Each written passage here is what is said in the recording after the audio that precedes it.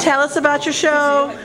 I'm in Varietease, number 24, Doll Factory. I don't know what the number 24 has to do with Doll Factory, but you know. It was the name of the show before Doll Factory. Yeah, before, yeah, what Beth said. Okay. and uh, tell me, who's your fringe crush? Are they gonna see me without makeup on? Uh, uh, I'll, I'll Photoshop it on.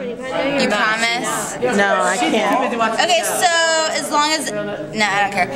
My fringe crush is Mr. Chris Gibson. Uh-oh. I wish I was in bric-a-brac. I saw you in Bric-a-Brac the other day. You were dancing around. That around. was very fun. I think there's a future in it. Oh, well, we may have to have like a Chris Gibson fringe crush raffle off or dance off or something because he's getting popular. As long as I don't have to pay him money. Other Oh, would payments, not be taking your money. girl. other payments are good because I'm broke. Very nice. All right. Have a good show. Thank you.